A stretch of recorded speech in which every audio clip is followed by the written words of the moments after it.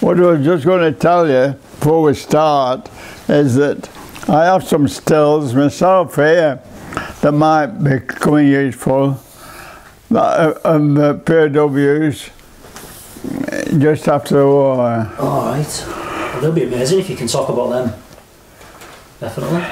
Well, he'll, he'll, he'll probably, if you I get know. about what sort of diseases they drink or Yeah. something like that, and he'll go into the details Yeah. about it. But that's what they look like. That's another one. And looked, you know, I can have a look at them, hard sir. hitting really, you know. is.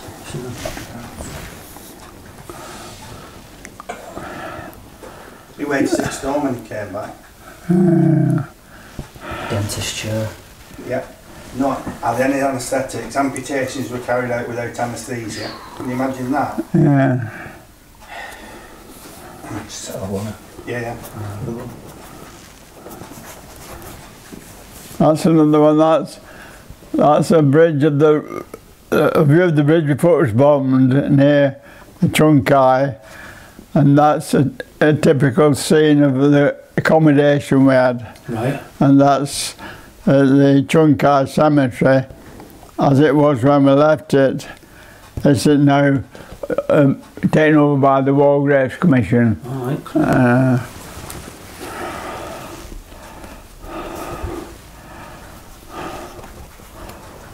That's unbelievable.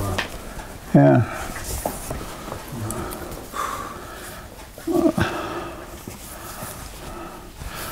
That's a, a, a copy of the map that shows all the camps that were involved when uh, when we were building the railway. It's about 250 miles long from uh, uh, Thailand to Burma. Yeah.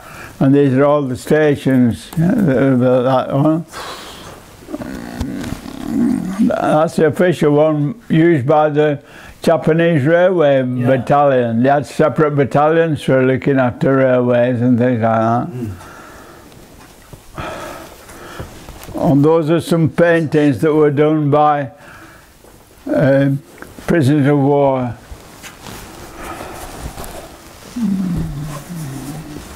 Was you allowed to have the materials then to paint and stuff, or Well, was you give was you given the materials so you could paint and that, or was it something you had to like have covertly? well they, they, they managed to get, o- they were still in, those are in Singapore. Right. a lot of uh, supplies in Singapore, as they think from uh, prisoner of war life. Yeah. And yeah, they could get more or less anything then. I built a, a, a, a banjolele, Yeah, you I'm gonna know. ask you about that. Yeah, Yeah. They're amazing. you can keep them over Yeah, separate. okay. Uh, I'm liable to kick this over. You ready then, mate? I'll make a start. How we doing, Grant? All right? You're looking lovely, man. Like a film star. Fun? Like a film star. Oh, Yeah. Right, Tom. Thanks very much for inviting us to your home and allowing Yeah. us to talk to you today. yes. Um, all we want to do really is just get your side of the story. You tell us about your, your experiences Yes. during the prison war camps and during the war. And Uh, and are you ready to shoot now or not? pardon? Are you ready to Yeah, start we're just, yeah, we're ready to go now. Yeah, Right. yeah. Well, um, of course, my story starts uh, in 1939 when I joined up. Right. Uh, my, a work colleague of mine uh, came to me one morning. I sat at my desk in, in the private hire department where I worked at Lancashire United Transport Limited and suggested we joined up. I said, you must be joking. he said, no, I'm serious, Tom. Um, he'd been my school pal all the time. And um he said, we can get in the regiment were fancy. And uh, so we went up to Bolton. I agreed uh, after a few days, went up to Bolton and to the recruitment office there and found they wanted clerks, amongst other things, warehouse men, storekeepers, and uh, general RA, service corps, all, all the branches. So we fancied the, doing the job we were doing at all, uh, clerical work. So um, we joined, both of us joined the RAOC, Royal Army Ordnance Corps. Right. And the following day, we, we were on our way to Portsmouth, to Hilsea Barracks, which was the, uh, then the headquarters of the Royal Army Ordnance Corps, to begin our training. So um, we got down there okay and started training straight away. And um, we found ourselves um, uh, in the ammunition depot supplies line. And after training there, we were posted to Corsham in Wiltshire, Right. with a, a big underground mine of. Um, uh, it was baffling, really. It was it, built into the hillside round uh, Corsham, the hillside of Wiltshire, and there's all sorts of ammunition, everything you could think of, and it's a secret. Nobody really knew about it, but it was the main supply uh, depot uh, for the army. Right. So uh, anyway, we, we did that and uh, we were both in this uh, Corsham depot for about 12 months. And then we got split up which was always a liability. And John was moved to uh, a, a small ammunition depot in Shropshire. And um, I was put on a posting abroad without knowing where we were going to. Uh, however, uh, we parted company, John, and uh, he was eventually uh, discharged from the army because of ulcers in his stomach. And uh, I continued with the ammunition services and uh, we went to Nottingham on a, a, a leave to prior to going uh, abroad. However, in March uh, 1941, uh, uh, we were uh, posted aside abroad and we went to Liverpool to join a convoy of uh, vessels, destroyers, and all told about 30 odd vessels in this convoy going abroad. Uh, some knew where they were going, but we didn't know where we were going. So we were on the Duchess of York and uh, eventually sailed uh, one misty morning and uh, headed in the direction of America for four or five days, uh, uh, avoiding the submarines of the Germans. And then after about four or five days, we headed due south for another four or five days before turning east and going to uh, West Africa, a place called um, uh, Freetown, uh, Sierra Leone, and uh, to take on water. We didn't go ashore there. It was so blistering hot too. Uh, the warmest place I've ever been to, including POW life. Um, for a few days took on water. Then we went south to Cape Town. The convoy went to uh, Cape Town and half of it went to Durban, we had a week's leave, as it were. We, we could go ashore and the locals of Cape Town used to line up with their taxis and cars and, and take us around the area, showing us what it was like around there. And after that we went to, we rejoined our boats and the convoy split, in, split up into two. Half of it went to the Middle East and the other half went up to Burma, to um, Bombay in India. And then uh, we uh, woke up one morning uh, to be told we were on our way to Singapore. There was no war out there. Singapore at the time.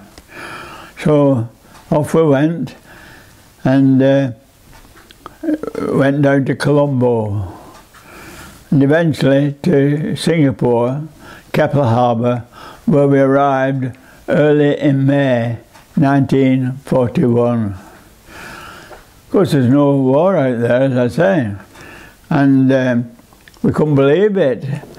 Uh, there's plenty of food, uh, we had good accommodation, and uh, we started to get used to Singapore. And um, I was being a sportsman, I was playing tennis, cricket, football, in the regimental uh, leagues that they had out there because there's already a lot of men out there doing nothing really, only train for the Japanese invasion, even when it came. And uh, quite honestly, we didn't think it was ever going to come, but it did. On the 8th of December, Uh, 1941, the Japanese, were, bombed Pearl Harbor.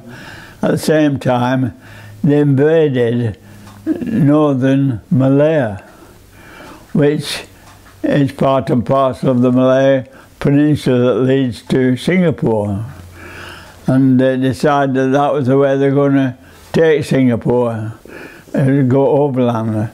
So it was it's a, like a long peninsula, and they were coming through the jungles and uh, rubber plantations and then going out to sea in boats or coming round lower down. Mm. So they were encircling the troops who were already up there. And uh, we were sending ammunition up to them, of course, keeping them supplied because I was in the base ordnance uh, depot in Singapore, which is actually on the island. Singapore is, is an island, actually fairly small, but still still large enough. And um, they were fighting a losing battle because by this time the, the Prince of Wales had been sunk. And their, the, their air forces were practically non-existent as far as we were concerned. And they had uh, tanks and uh, most of our troops were using single shot uh, Enfield rifles mm. and uh, the Japanese had automatics and things so although, although there was enough men out there we, we weren't equipped yeah. Uh, efficiently really to stop the rot so slowly but surely it was uh, unstoppable they crept down uh, Malaya to uh, Singapore. Where we put up quite a bit of resistance there because they had to cross what's called the Johor Straits, uh, which is a, a, a, a water that surrounds Singapore. And uh, we put a stop to it for a few days, but we're now in, we're, getting into January and February now of, of, of 40, 42. And um, uh, uh, say this went on for a few days, and uh, on the uh, Thursday, the 12th of February, 1942, we were instructed to uh, leave our barracks and go to the base ordnance depot to try and defend the base ordnance depot, which never got round to because before that we were uh, withdrawn to uh, Singapore railway station uh, on Friday the 13th of, uh, of February 1942 and uh, Saturday was spent sorting ourselves out, more or less. Um, there's a few ships still left that they could move people. So a lot of the higher ranking people were moved during Friday night, or Saturday night, sorry, and uh, we were uh, sent forward to new positions, uh, joining the regulars the regular army, but we weren't, as base ordnance people, we weren't trained as a fighting force, but we were, we were instructed to shoot any Japanese you saw. So we went uh, up, up Bukit Timah Road, which is a road that runs from the city centre uh, northwards to the causeway where the railway line crossed. And uh, by that time, um, uh, uh, the Japanese were, were, were coming, coming onto the island in small numbers because the causeway had been blown up to a certain extent to provide, to prevent, I should say, easy access to Singapore. But they eventually made it. And um, we, uh, uh, as I said, on Bukit Road, and uh, we were told to stop firing. This is, uh, this was about 10 o'clock on Sunday morning, the 15th of, of uh, February 1942, because uh, the British uh, forces, Lieutenant Percival, the head, uh, was uh, entering into talks about a possible surrender and the terms that would be applied.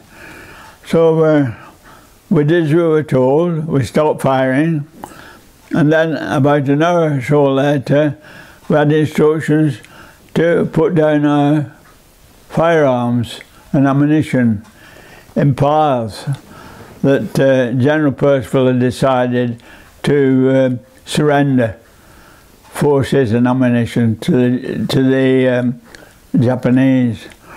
So, because they, by that time the Japanese had taken over the reservoirs and um, electricity supplies on the island.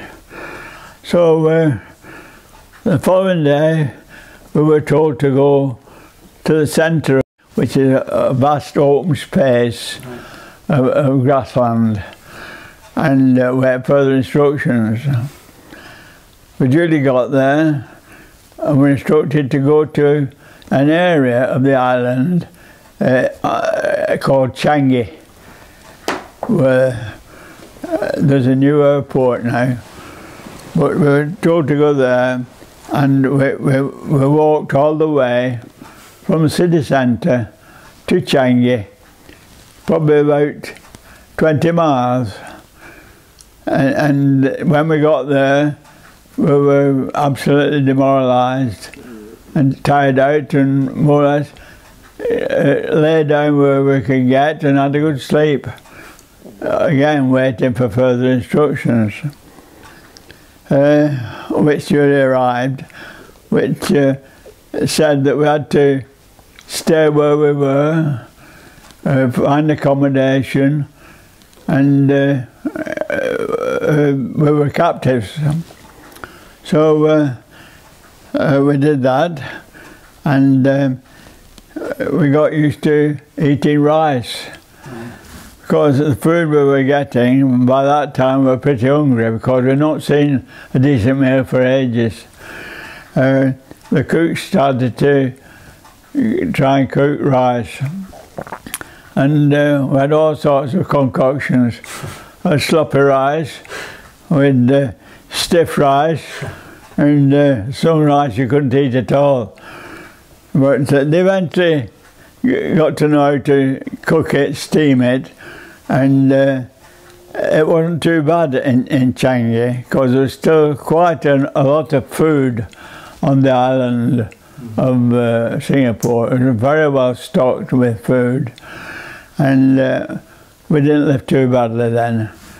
So we weren't doing very much uh, apart from being guarded by Korean guards.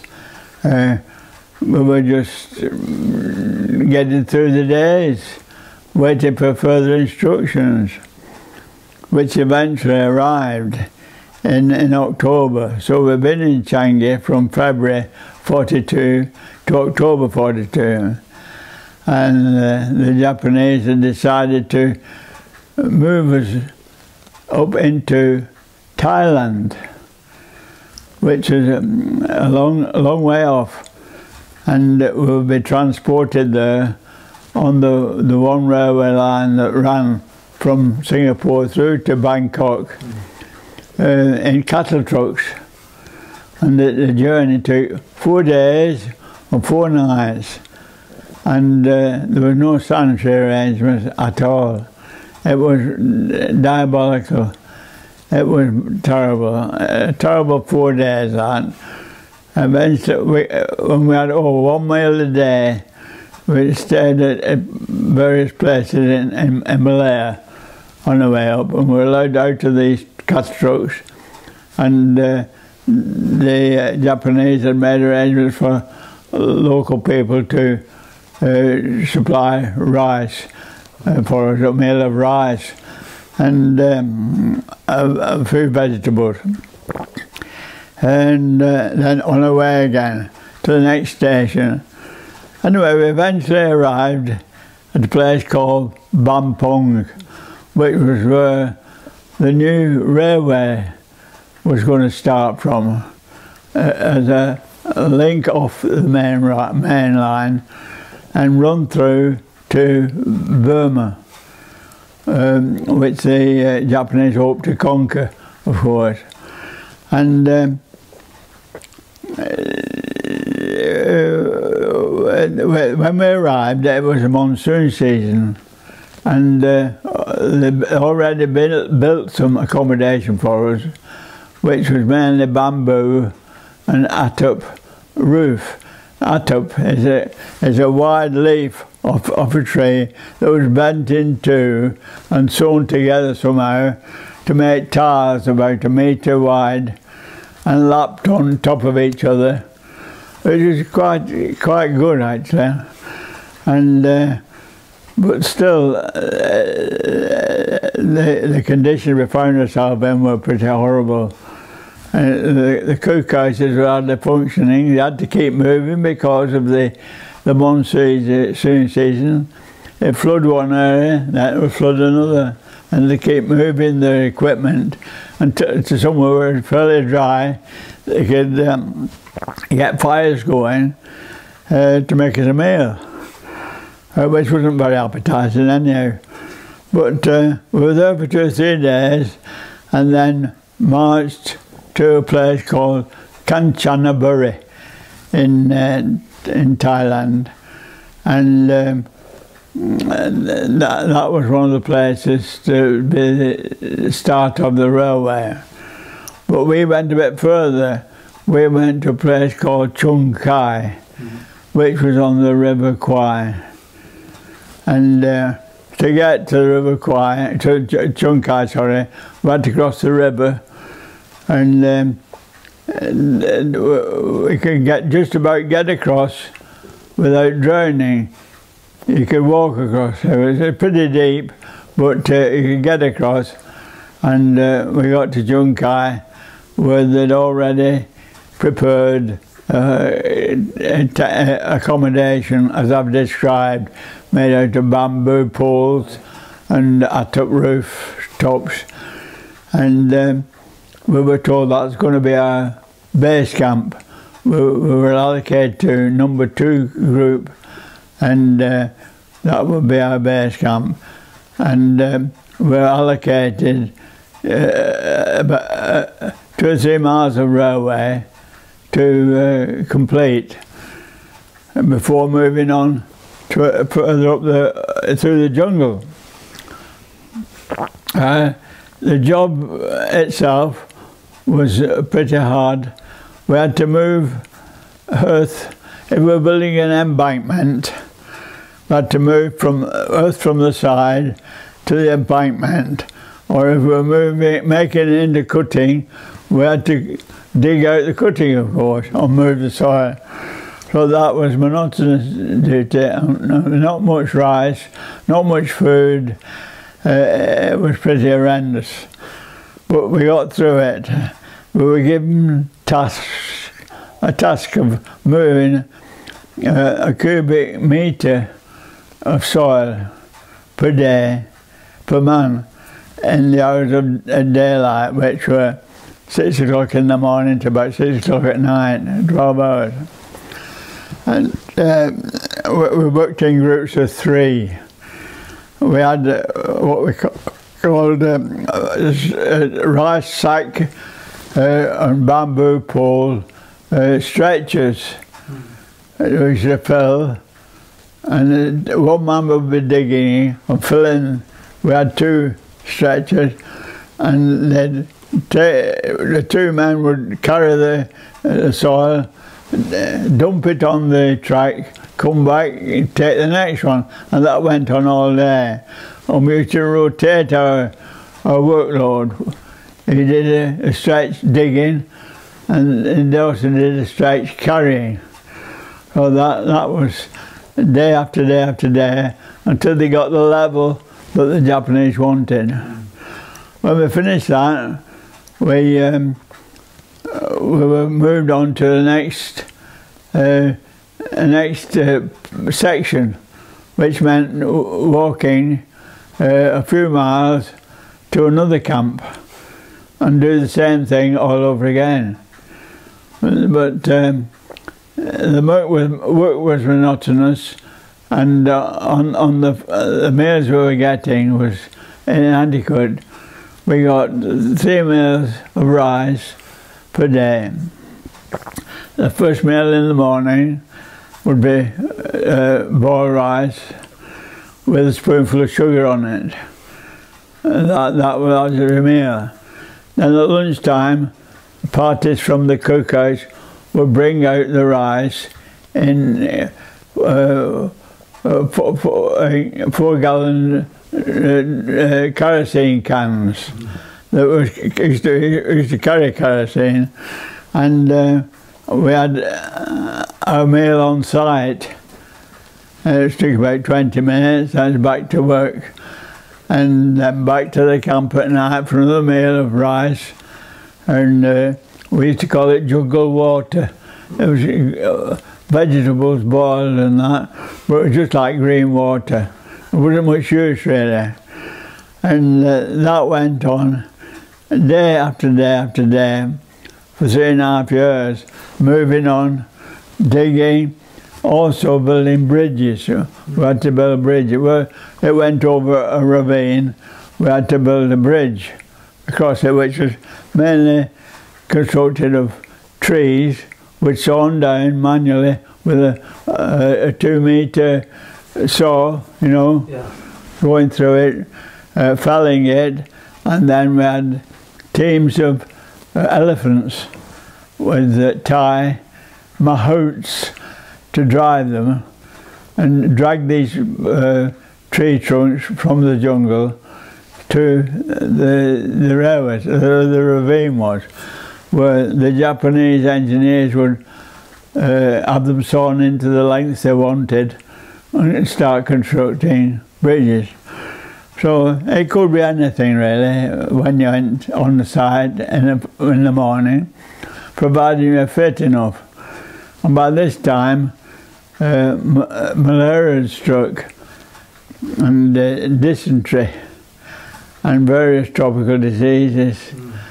Uh, but uh, there'd be a parade first thing in the morning, and the Japanese would supervise it, and uh, they determined who should go on the working parties. But uh, often the our medical officers would uh, say, "Well, this man's, this man's not fit to work 12 hours up in the jungle uh, in the heat of the day, and uh, we want him excused for a couple of days while he got round off his uh, his malaria or dysentery. Sometimes it worked, sometimes it didn't, but um, it was hazardous that job. Uh, so, uh, so that uh, that went on for uh, what uh, 12 months. We were building the railway. And we, we, we finished it on time actually. But um, there was a lot of lives lost. And uh, the main thing was that you had to have a strong, very strong willpower to keep going. Otherwise, you'd had it, it, it was very depressing. And uh, get occasionally uh, the Emperor's birthday or something like that, a day off. Yasume day, that was. We look forward to them. it gives us a chance to get into the river, have a good wash down, and uh, try to get the bed bugs out of our, our bed spaces and, uh, get round off dysentery, but you're more or less always in a state of dysentery. And um, malaria, as I say, kept striking and striking. I had, personally had 32 attacks of malaria in various degrees, some worse than others. Uh, but I got through that, and you're lucky if you got a pinch of uh, um, um, Quinine. uh, Quinine.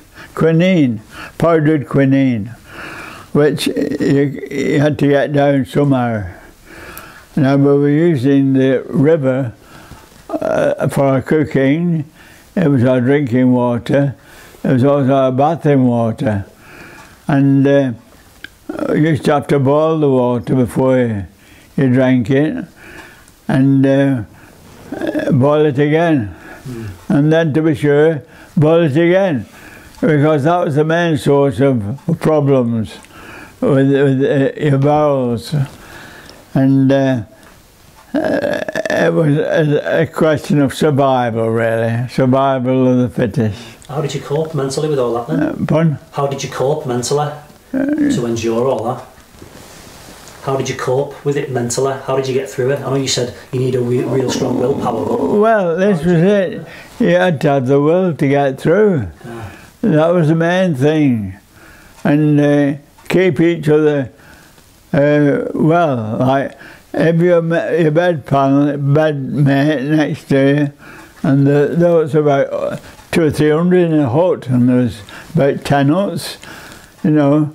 Uh, you used to have to look after your pal and uh, get his meals, bring his meals for him, and things like that. Uh, so it was of helping each other. right. And there's a strong, very strong bond grew between prisoners of war. Very strong bond. As I say, we, we eventually finished the, the, the railway line and we came back uh, in open trucks. It was all right, that wasn't too bad coming back again. And we, we crossed, we built a, a bridge called the Wampo Bridge which is a very long bridge. It was a work of art, really. And uh, when we was uh, uh, building it, we were under the instructions of the Japanese engineers and uh, um, uh, Korean guards. And uh, you'd be sawing down trees, and the um, uh, elephants would be dragging them down to the site where, where the Japanese wanted them, and they were cutting joints in and uh, putting uh, metal uh, uh, bolts through to hold it together, but uh, rather rickety, in my opinion. Anyway, we got over it. We came back. We, we got back to our base base camp, where things were a bit easier, but the food wasn't any easier, which is the main thing. But um, uh, there's a fellow called Leo Britt, he, he'd been in the, on the stage in London, and um, he was a marvellous man. He could remember a lot of the, the storylines, and uh, he used to put on some good shows. And there are also people who uh, who've been on uh, the stage. There's a fellow called Frankie. He had a, an accordion. He was a professional. He could play any, tune you, thought of. Uh, luckily, I was in the same camp as him quite often when we were leapfrogging each other Yeah. camps. Uh, he, he would be there. And he used to go around the huts uh, playing his accordion. Uh, and I, by this time I built this, this guitar, of course. And I used to sing a few George Formby songs. Just to, and we move up the up the, um, the, the camp line and then back again. And uh, keep the trees happy as well. So things were quite a bit better then. But the illnesses and um, uh, and things happened and and uh, at a critical moment uh, cholera broke out an epidemic of cholera mm. and you could leave your camp leave in the morning and uh, two three or four or five people would have been moved onto a, a, a separate area because they had cholera and they probably lasted a couple of days and, and, and went like that. They all gone through uh, uh, water uh, imperfections. And uh, altogether there's about about 15,000 died in the construction of the railway alone. And uh, there in uh, War Graves cemeteries in Chung Kai, which was our base camp, and Kanchanaburi, which was the number four group camp. So uh, I lost quite a lot of lives out there. And uh, I'm often asked how, how, how, did I survive? And uh, you can't help but say it was pure luck. You either lucky or unlucky mm. to, to survive them. If you if you're in a camp where there's no quinine, for example, malaria, it, it was deadly. Malaria, a deadly disease, because it got into your mind, in your brain, right. and uh, it used to see you off. Hallucinations, you was uh, miles away. You, had, you were lucky, yeah. really. I say I'm 99 now, so touch wood, I did all right. There's, you lost a lot of weight as well, didn't you? There's quite a few older than me. Yeah. As a, as a doctor in London by the name of uh, Frankland, Dr. Bill Frankland. He is 105. Wow. And uh, we attended a, a, service of remembrance a few years ago, Ronald and I, and um, we'd had a service on the Guards Parade and did the usual walk from Guards Parade past the uh, War Memorial to Westminster Abbey where we had a, a lovely meal. And he walked it. Uh, Ronald was pushing me in, in uh, uh, a wheelchair that I've got. But uh, I, I, think I lost my legs in, uh, on the tennis courts at Leigh on football field because it was my own sport. Right. I used to play tennis uh, three or four times a, a, week and I'd chase anything to get it back and not realising my legs would give way eventually, which they have.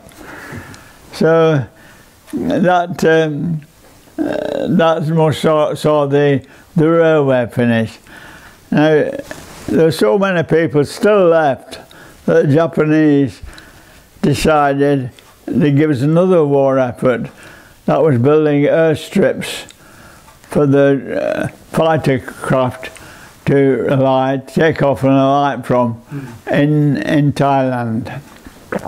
And uh, I was given one, along with hundreds of others, of course, in southern Thailand. And uh, that wasn't a bad journey. We were decent uh, we were still on open trucks, but they weren't ex-cattle trucks, and then they used to stop for toilets and things like that. And we got down to southern Thailand, a place called Phetchaburi, and uh, built a, an airstrip there from uh, January 1945 till the end of July in 1945 when uh, it's finished. Of course, the war finished a few weeks after, and uh, the first plane to arrive was a Dakota. And uh, we flew from there to Rangoon, uh, where we went into uh, the various uh, medical hos- hos- hospitals there and uh, uh, given the once over and uh, allotted for uh, trips back to England. Uh, and again, I was lucky there. I got on the first ship that arrived in Southampton in uh, October, 8th of October 1945, the first ship back in England. So I was lucky there. Uh, I've kept pretty well since. I, I, was- I, I was a tennis champion uh, on a couple of occasions at Leigh. And uh, Are they grass courts? Are they in Leigh? Or the well, the, no, the uh, shale court. right, all right. But uh, we, we had, uh, a fellow of mine, while we were in Singapore, uh, in that period where there's no war, uh, a fellow from Leicester called Sid Holyland, he was a good player, and we used to, there's only about two of us and there's about four courts, but uh, everybody didn't take up sport, of course. Some got back on the bed and had a siesta. But we used to go play in the last hour before the sun went down in Singapore. And um, eventually we, we entered an open competition at the Singapore Chinese Recreation Club. And, uh, um, uh, we hadn't realised it, but they were playing on lawn. And the ball didn't get up at all. And we, we lost miserably. I think we lost 6 1, 6 1. Yeah. But it was a good experience. Yeah. Um, I said, yeah, I'm back to tell the tale. Now, I might have missed one or two things out while we're going through, so I'll just exercise my mind. Yes, one, one, of, one of them is um, I've told you about the railway trip from Singapore to Thailand. Was four days and four nights. That was horrible. That was the worst four days I spent. Uh, whilst we were in, in uh, Changi, we were given forms to fill in saying we wouldn't try and escape. But between me and you, there's no chance of escaping No. uh, out there because all the rest are the Chinese, Malays, or or, um, the, um, the people up in Thailand, the Thais. So you soon be recognised. and then they, they probably put price on their, our heads. If, uh, if they spotted an Englishman walking around the street, let us know, we'll give you so many pounds to do it. So I never tried it on myself. Uh, the forms, no, anyway, we um, we didn't sign them, these forms. So in consequence, where we'd occupied a very big area in Changi, well, all the area of Changi spread out and plenty of room. We were concentrated in a, what had previously been a, a barrack block belonging to one of the army battalions out there. I think it was a, a s- uh, Argyll and Sutherland Highlanders, one, one camp. And we were all uh, put in one camp. We were even sleeping on the parade grounds. Yeah. And we, we were digging the parade area into slit trenches for toilet requirements because that was the only type of uh, uh, toilet request, uh, uh, requirement we had. And it was always slit trenches. Even in the jungle, there were slit trenches. Um, horrible things, uh, maggots crawling up the side of them, and uh, it was, um, I said previously, horrendous. Uh, that was one. Uh, I told you about this uh, um, ukulele, which I, I've used. I know you dealt with a And. I, I donated that ukulele to the Imperial War Museum. Right. Now that's, that's still on view in the Imperial War Museum North, um, Salford, Yeah. And uh, it's open every day. And uh, when I donated, I, I, I specified that I didn't want it put in the back room somewhere. I wanted it to be on view. Yeah. They've honoured that requirement ever since then. Um, we, we get back there from time to time, and doing little speeches, talking to children who are visiting and things like that. So what do you think that ukulele represents then? Like, what do you think that ukulele represents? Well, the, Morale- the ukulele, uh, for me, it was, uh, I've always liked making things. And since I come back, I made a sailing dinghy. I used to sail it on Leigh Flash. And uh, from parts which I had to trim and put together and, and that. And uh, I was satisfied when I made it. And that was so satisfaction. And uh, I was, as, as a consequence, I found I was taking off other jobs Right. to be in the concert party. I was part of the orchestra and uh, or doing songs uh, in a group, uh, you know, singing George Formby songs. Because a lot of people knew George Formby.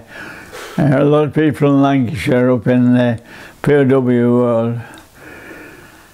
Yeah, that's uh, that's another part of life right there.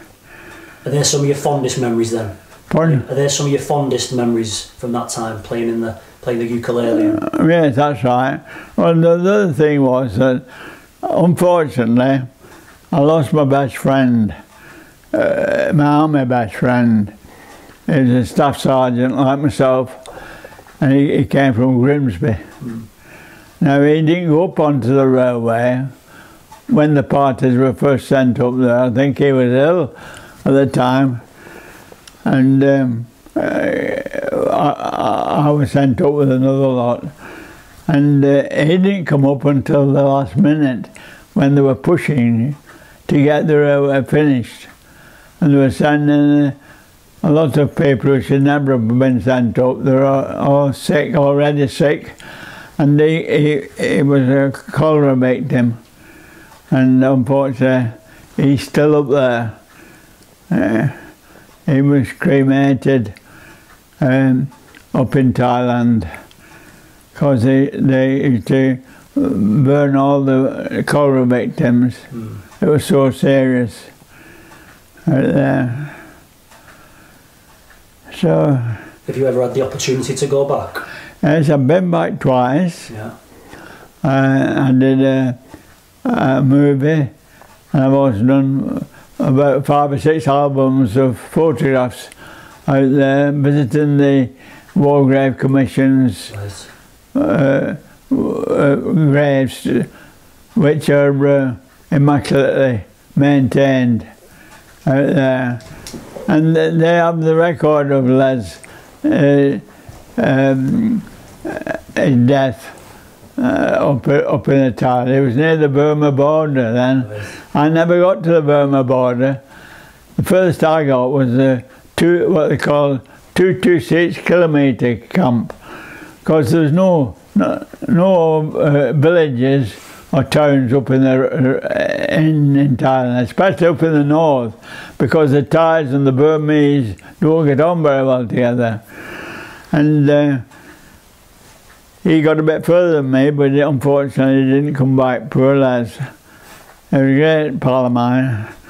We used to, uh, again, going back to the uh, period when there was no war out there, we used to go out at night uh, to uh, uh, a cinema called the Cathay.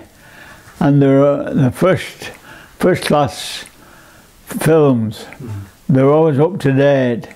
Just released, they were flown out to Singapore on uh, these flying boats Right. from uh, uh, from um, um, uh, from America, from Pearl Harbor way, and he, he used, the plane used to land every day about four o'clock in the afternoon, and then take off the following morning, taking post and stuff back from Singapore. until the war started, of course, and that, that stopped. But last night, we was out from here, and we was called, called the Union Jack Club uh, in Singapore. And you can get steak, eggs, chips, peas and onions, fried onions, uh, uh, for next to nothing. Yeah. And um, they, they cinema, these phones or The Road to Bali and, you know, the Bing Crosby films, and all for, we had some good nights out together, men, men lads. Yep. Have I missed anything out, Ron? Uh, maybe how you constructed the ukulele. I don't think you've touched on how you made the ukulele. Oh yes. Well, again, a luck came into it.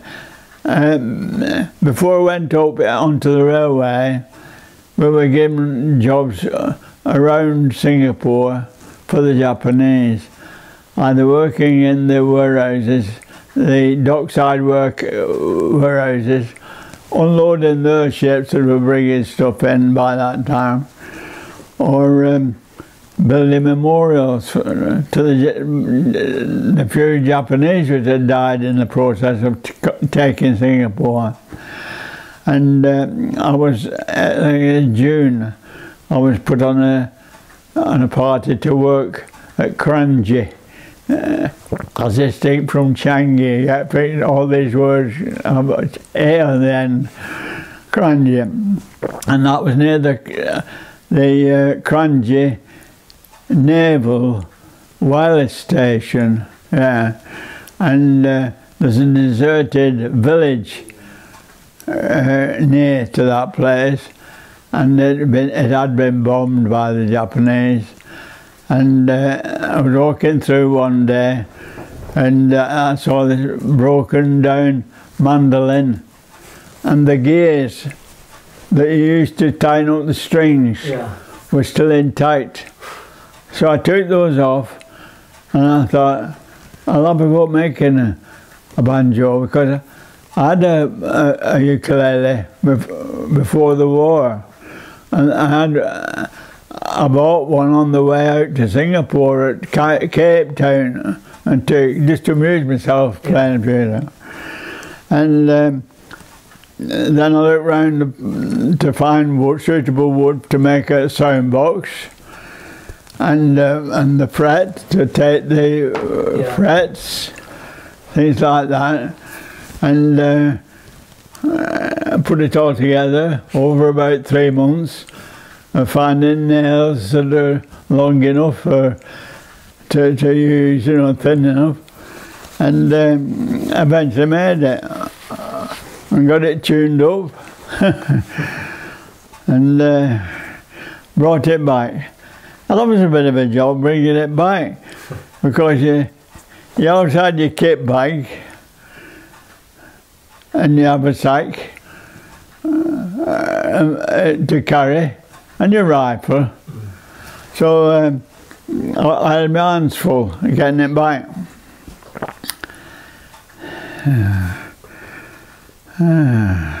Anything else on it? Where do you get the strings from, Dad? Oh, the strings. Well, the strings were telegraph wire. You used to cut and they call it separate strands inside the telegraph wire, and uh, I tried them out and uh, found it worked all right. So I used telegraph wire to make to put, to uh, uh, create the strings. The bridges those are easier to make the bridges on a wooden with four slots on for the four strings and uh, there- no problem there. Did you have to tune it by ear? Yes, that's right, yes. And uh, GCAA are the, the, the notes of the four strings Right. you use. And uh, used to sing, used to tune it to the tune of "My dog's got fleas."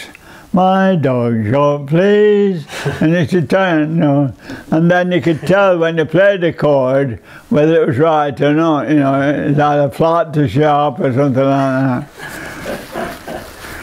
So uh, I got through that all right. Anything else, Ron? Not really. Yeah. Uh, really. It's fantastic, Tom. Can I just ask you? Uh, that, that's more or less the, the end of my experiences.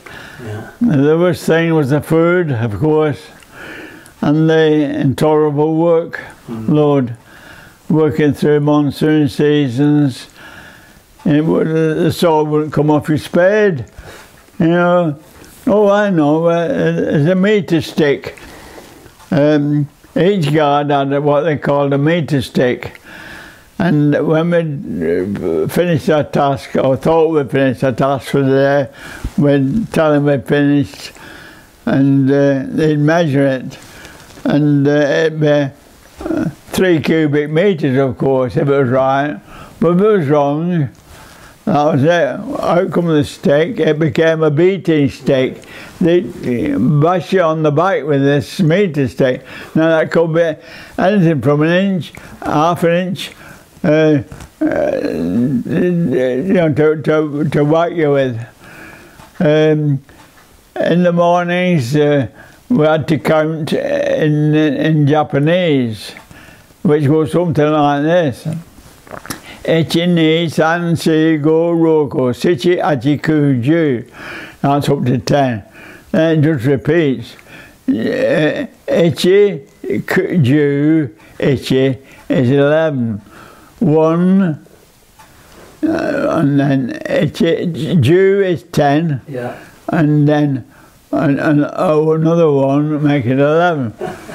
so if, if, if you uh, stopped the sequence of going along the line at knee, San Sigo, Rucko, even Ronald use a few words now, um, you used to get a slap across the face because you, you hadn't uh, learned the numbers. but uh, they'd give you a slap across the face for nothing, and you just could not retaliate.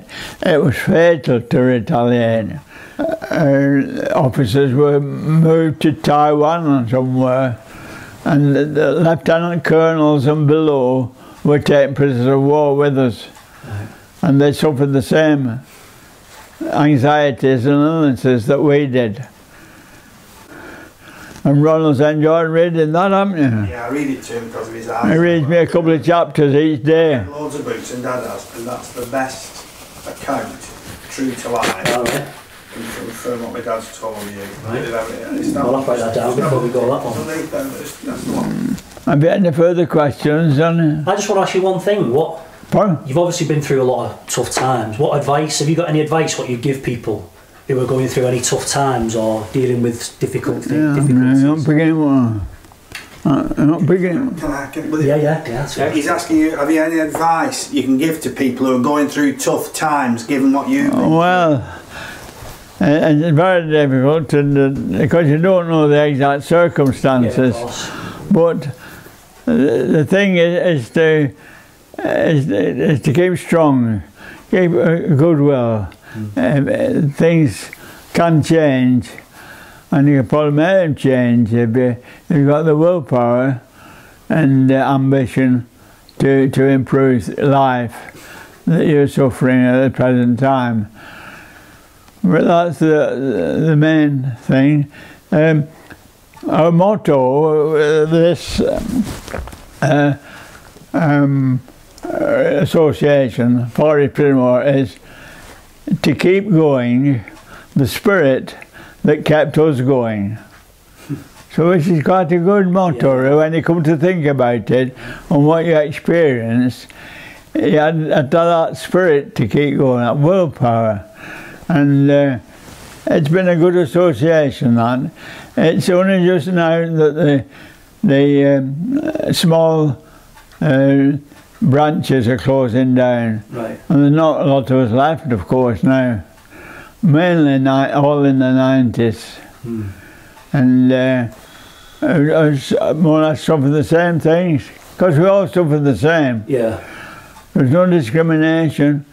You all suffer the same. Illness, illnesses, lack of food. Yes, it was it was a grim, grim life. I wouldn't like to go through it again, but uh, I got through it. Well, you did it, so we don't have to go through Uh, it. yes, Yeah. yeah, that's right. Yeah. Well, it's amazing, an amazing story, Tom, and thanks for letting us uh, Yeah, it's all right. you know, but, listen uh, to you talk. Yes, I, uh, yeah. I, I, I didn't know what to expect when you come. I didn't whether you were inviting us to go and give a talk uh, somewhere. right. Oh, sorry for the confusion. Well, giving you a talk, you can tape this and put play it, can't you? Yeah, yeah, yeah. That's the plan. Hopefully, we'll be able to show this to some of the young young Yes, kids who that's right. the trust and that. I think uh, I go to the Imperial War Museum time to time and uh, they have what they call Veterans Day, hmm where, as far as I was concerned, uh, they allocated me to the case where my ukulele is on spent and the group of children and the school teacher would come in, gather round, listen to what I had to say Yeah, and ask questions and probably have a photo shoot, you know. the keep. Brilliant. So uh, that's very interesting, but uh, uh, you know, it gets you down to a certain extent. Yeah, Keep going back and that. yeah. Will we get through it? Well, we appreciate you. Yeah, that's about right. it today, anyway. Yeah, I've enjoyed the visit. Yeah. Thanks very much. know, like- Will we see you at the breakfast next month? will we? uh, oh yeah, that's right. When is it? The Second. Second Monday of every month. Monday. Yeah, yeah. Yes, uh, and uh, Matt McNannon. That's right, yeah. Because I was a fan of his when he came to play. You must have been the only one then. But, You must have been the only one. no, no, I wouldn't say that. Not telling him that. yeah. Uh, I liked his, his style of playing. He's a good goal kicker. Yeah. But, uh, and the, the biggest biggest centre three quarter we've ever had. he could get over the line, he could fall over. I think we, we've signed 13 players on by now. All It right. was just enough to make a team up for next season. Can I offer you lads a As you know, cup of tea or coffee? I'm fine, thanks. A cold drink? Is that better? I'll have a for glass of water, please. Yeah, if glass of water. right, Two yeah. glasses of water. please. Sorry it's too warm in here. But I one just- thing I think you probably agree with me, everybody says it, is memory. It's It's amazing. The Absolutely. days, not Absolutely just the years, all the months, the days as well. You're the names of the places. I know. It's Unbelievable. it yesterday, and we're Unbelievable. talking 70 odd years ago. I think you're a, a remarkable man. You really are. I think so. yeah, definitely. I don't know, I, I feel very ordinary quite, I, honestly. Uh, it was nice having you. No, it's been a pleasure. Yeah. Yeah. It's an amazing story, though, isn't it? I tell you-